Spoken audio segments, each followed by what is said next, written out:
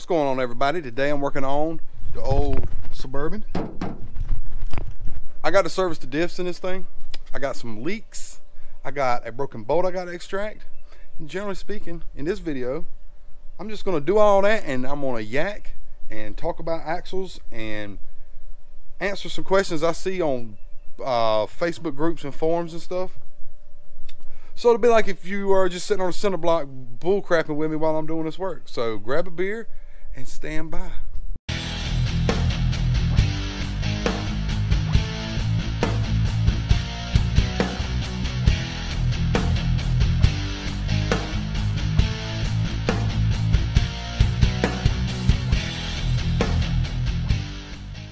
Bolt front axle come under old school square body pickups through the 80s and the early 90s and I think yeah the late 70s too the way you identify this from a Dana 44 is those little ears right there. And the differential uh, cover itself is more round. I see a lot of people say they have a Dana 44 in front of their truck and even though in the 70s they did have Dana 44s from the factory uh, most of them are 10 bolts that I see. This is a Dana 44 notice how the uh, cover is not quite as round. Um, some people call that a stop sign shape and you notice they don't have those little ears hanging off the corners either. I can see them things coming down the road and tell what it's got under the front end. Just because I'm used to looking at them. And then in this under this pile of crap I got back here, got away kayak. This is this is a Dana 60 right here. Boy, that was a lizard over there. I thought it was a snake. I about jumped. It looks just like Dana 44. It's just bigger.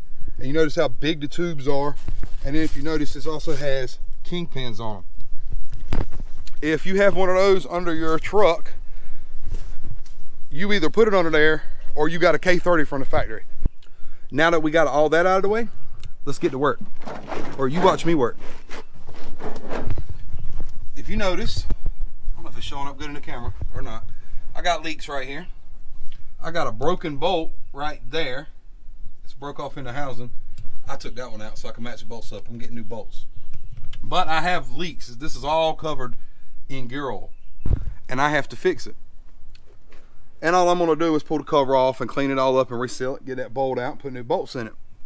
One thing I wanted to show everyone is um, if you have a differential leak, and it don't matter if it's a front or a rear differential or any of them, the number one cause of leaks is the vent. Always got to check the vent. And looky there. Can you see the end of it? Well, first off, that hose is not hooked up. It's been cut. It was like that when I bought the truck and I didn't do nothing about it. I'm gonna fix all that today. But if you look in there, it looks like a dirt dauber made a real estate investment in that hose. When that vent's plugged up and you're using that differential, as it makes heat and it expands, that's what that vent's for. And then it cools back down if you don't have some vent action going on, it takes uh, it blows out the weakest link, which sometimes can be the diff cover or uh, the seal between the diff cover and the housing. It could be the uh, inner seals in here that's behind there, and then the oil run out the ends. It could be your pinion seal. Whatever's leaking on that differential, um, before you do any kind of replacements on seals, check the vents. All right, I know a lot of people probably already know this, but there's probably somebody who don't. Best way to knock this cover off, to drain it, is take all the bolts out and leave that top guy up there. Leave him on there, but leave him finger loose like this. And then, just take you screwdriver, get in behind it, and just kind of give it a little, oh yeah. Ooh, this is stanky.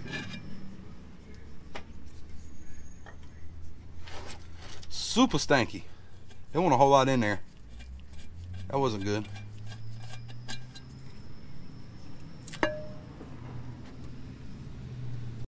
All right, now that we're waiting for all that to drain out, it's kind of goopy. It's stanky. I hear a lot of people, and I've been asked this most times, how do locking hubs work, the manual locking hubs? Those bad boys. So, if you take a look see the axle shaft where the U-joint is, where the stub shaft and the axle shaft go together? You notice if you spin this tire, let me back it up, it no spinning. The tire is on its own because the hub's unlocked. But if we come over here and lock this bad boy in,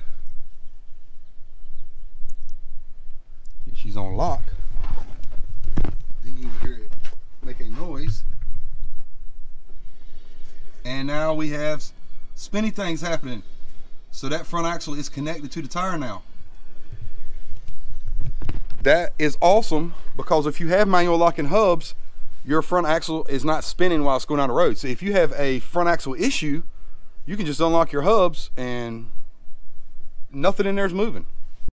And now that we're talking about spinny things and axles being locked up and stuff, let's talk about lockers. People all the time that have open differentials say that they catch posi. I hear that crap all the time. No, it did not catch posi. What happens is if you have an open differential, the tire with the least amount of traction gets the power. So if both your tires turn, that means that the traction surface is similar or somewhat similar enough that they both did it. And I'm gonna show you, watch this. So turn the tire, I'm turning it. And you see that right there? You see the spider gears in there turning? And you see, if I turn this tire this way, that axle shaft is turning opposite. And the tire would be turning if I had the hub locked in on that side, but I don't. So, one way without pulling a cover to see if anything's got some kind of locking device in it is if the tire's off the ground and you turn the tire one way and the other tire turns the same direction, you know you have some sort of a traction aiding device, whether it be a LSD, a locker, something in there. But if you pick it up off the ground you turn the tire and it turns the opposite, uh, this tire one way and the other tire turns the opposite direction, you have an open differential. Another question I hear all the time is how do I know which gear ratio I got in my axles? Well, if you're doing a, uh, if you're sealing up a cover like this and you're changing the oil, now's a good time to find out if you didn't already know. So what you can do when you got it apart as you see the pinion way back there, if you count the teeth on it, and then count the teeth on your ring gear, and divide the two, that'll give you your axle ratio. a lot of times you ain't got to do a whole lot of counting. See if I can get this thing to turn. Okay, I don't turn this thing all the way around, and this particular ring gear don't have it. But sometimes stamped in the outside of the ring gear, it'll say like 41 dot dot 10, which is what I thought this one said on it. I know this is a 410. If you don't have that, then you do have to count. But if it's got, if you turn the ring gear all the way around and you find that stamping on it, a lot of times it'll tell you the ring gear. You should divide the 41 by the 10. That'll give you 410. Or whatever it ends up being. And now for the real fun part. I got to get this bolt extracted out of this housing, or what's left of that bolt. And I've been a mechanic for many, many, many, many years, and getting a bolt out always sucks every time. So let's see how quick I can get this thing out. All right, before you start drilling around an open differential, I'm gonna cover him up to try to minimize the amount of shavings, drill shavings that get in there. When you do like this, and if anything jumps on that rag, when you pull the rag off, it'll fall down and it'll keep it out of your gear set because metal shavings floating around is not cool for a differential. Let's see if I can do this.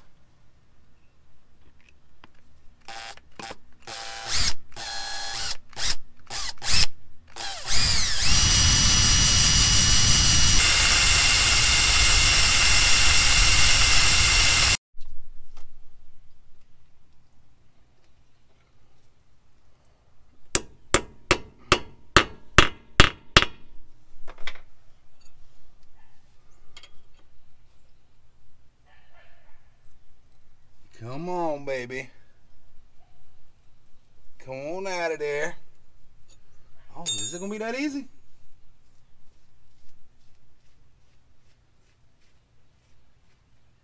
Yay!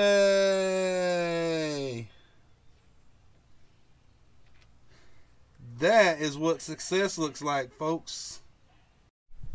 Now, I don't know if it makes you see them little uh, shavings right there? That's why I put this rag up here. And now all I gotta do, look, there's another one right there. It slings them everywhere. You just take the rag and go, and all the shavings go on the ground. All right, so after I got that bolt out last night, I got sidetracked and had a bunch of other crap to do. So now it's the next day, and I'm getting back on it. And it rained all morning, so now it's the afternoon, so I got to rush. So get another beverage and get your uh, cinder block, and we're gonna continue this. I'm gonna clean this thing up real quick.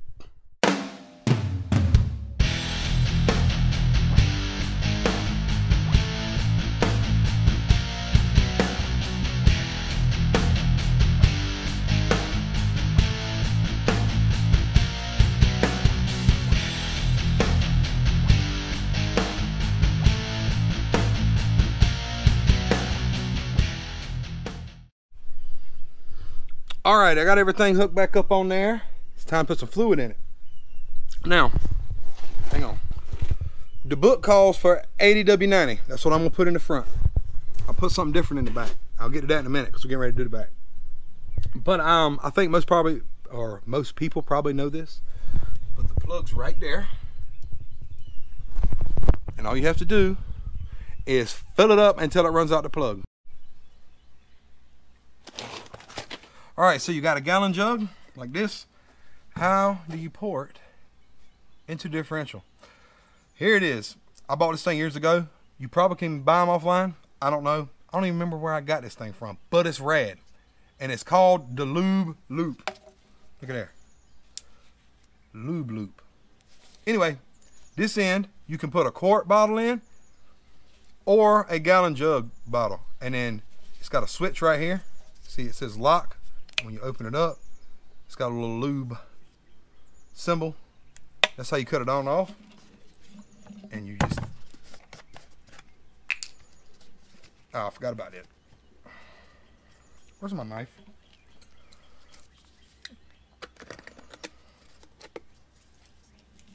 It just screws right on the top. Like so. Hopefully I picked that up on the camera. And then you've got a nice little hose to put lube wherever you need it at. Go lube loop.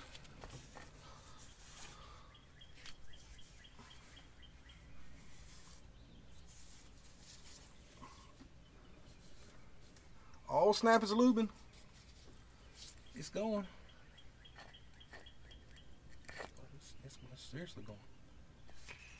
Uh, look at it trying to come out.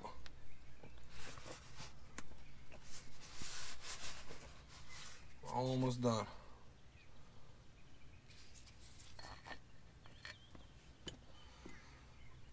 Good job, Lube Loop. Oh, it faked me out. It's not good yet.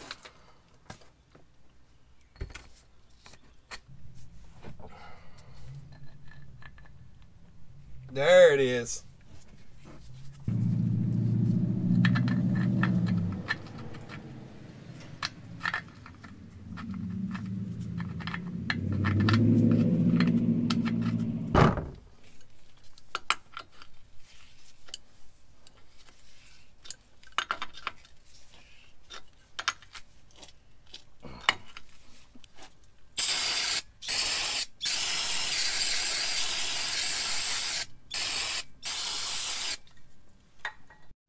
All right, I'm done.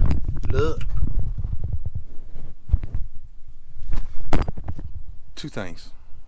When you put your hose up there, make sure you leave a little extra for your suspension travel. Now that thing's plumbed all the way up there by the battery box. And number two, do not waste your money buying gloves from Home Depot. These grease monkey gloves ain't worth it. I would know you look at them wrong, they rip. I got, look at my hands. Where they ripped. Don't do it. Now let's spin this thing around and talk about and work on a 14 bolt. Now look them under the back. Look at that bad boy. That's a 14 bolt. And they call it that because it's got 14 bolts the way around. This is GM's HD axle.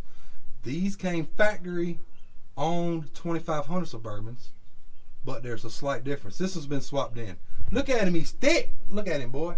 Look at them tubes. He's thick. I got disc brakes on mine. So the 14 bolt that come factory in Suburban, three quarter ton Suburbans, was a semi float. This is a full float. You notice the bolts in the middle? That's how you know it's a full float. You can unbolt this and the whole axle slide out without even taking the tire off. They are a little bit more heavy duty, if you will. Uh, this axle came out of a, it was either a 98 or 99 K3500. I got it from a junkyard. All I had to do was uh, move the uh, axle perches in a different location because this is a square body and that one's a GMT 400 chassis. And everything else, I set the pinion angle. It's been beautiful. But I got the same kind of leak on the back that I had on the front. And when I get this thing up in the air, it's got a G80 locker in it, a gov lock. I'll show you how that works. Oh, something else. So, uh, I should have talked about this when I had the 10 bolt open. The only difference between your HD 10 bolt, which is like a three quarter ton 10 bolt, and your half ton 10 bolt front. That goes for the 44s as well, if you've got a Dana 44, is the rotor and the bearings in the front. So if you've got a half ton 10 bolt front axle in your square body truck and you want to run a one ton rear that's eight lug, all you have to do in most cases is buy a set of rotors, the rotor hub assembly, the whole mess, and some bearings, and it's good to go. Sometimes you have to change the spindle, but you have to measure it to see if you need to change it. Most of the time, you just put rotors on it and you're good to go. You can run a one ton eight lug setup in the back and just get you some eight lug wheels and you're good to go. Look at that big boy. Look at them big gears. So earlier in the video when I was talking about that sometimes they have numbers stamped in them, so it says, see, 10, 41. You divide those two numbers and it comes up with 410. So um, that's a quick way to see what your gear ratio is. The front didn't have it, the back did. And this one has a gov locker in it. Let me see if I can get it to lock in.